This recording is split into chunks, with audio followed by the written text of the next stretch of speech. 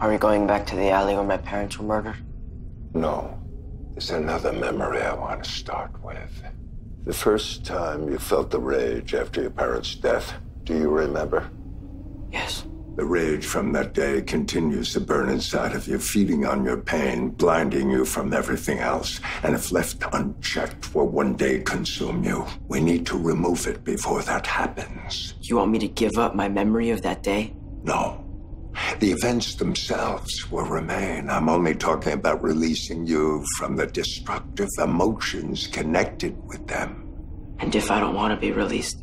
You have chosen your prison, Bruce. I'm offering you a way out. Why? You said I was to become the protector of Gotham. Why me? Because you need each other. Gotham needs a protector, and you need a purpose. I'm only trying to show you the way, but it has to be your choice.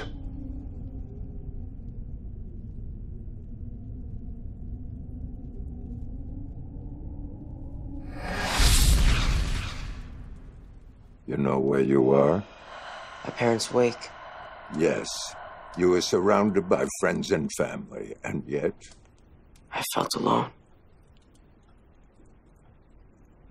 This was the first time I truly processed that my parents were gone. The first time I thought of myself as an orphan.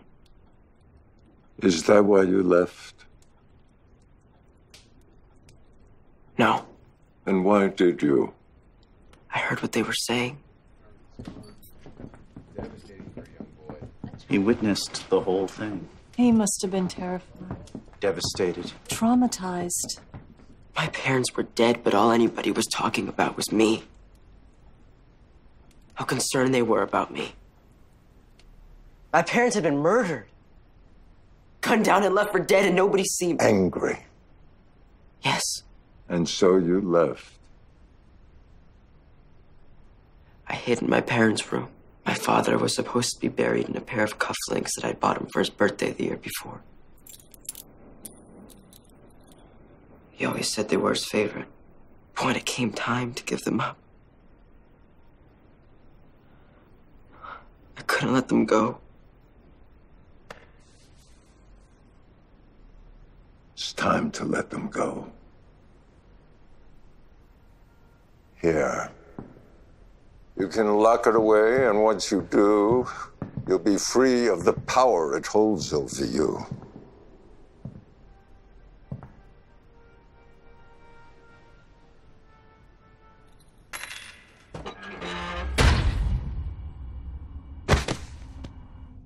I've been waiting a long time for this, Bruce. Together, we will make Gotham pay.